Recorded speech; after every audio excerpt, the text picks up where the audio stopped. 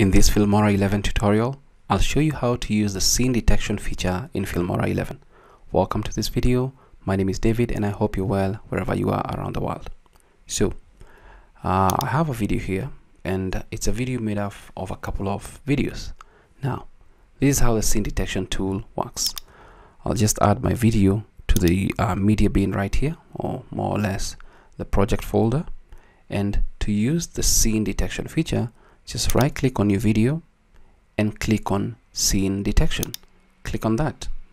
Now what happens is that Filmora will automatically start cutting up your videos into the different scenes. And if I may pull back a little bit let me just close this.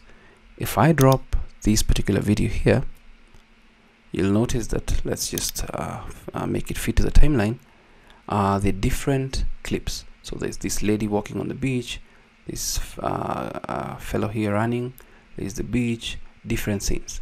Now these are all different clips. If you wanted to cut let's say uh, between uh, this clip of this lady walking and the clip of this guy running then you'll need to probably zoom in extremely move probably frame by frame etc but with the scene detection feature it's pretty easy to actually do that. Let's just delete that and then let's right click on this scene detection. And Filmora is going to automatically detect the scenes for us or more or less the different clips. So this particular video has six scenes more or less six videos. And from this section once it's done you can either select whatever scene that you want uh, you can delete it etc. But let's assume that you want to add these scenes to the timeline they are all going to be added as individual clips. So click on add timeline.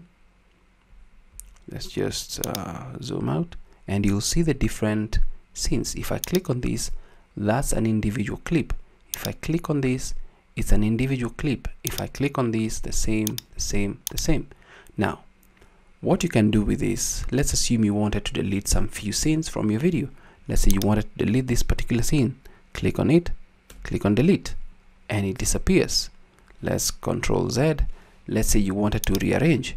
You can actually move this to the side move this up bring it here and then uh, you can just close out all these uh, different gaps whatever you want uh, to close out here.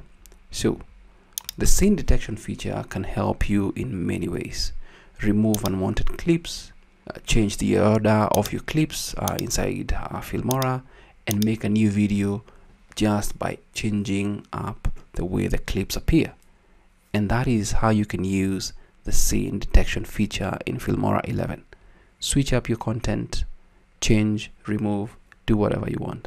It's absolutely easy to do. So that's it from me. My name is David, and until next time, stay safe and never stop learning.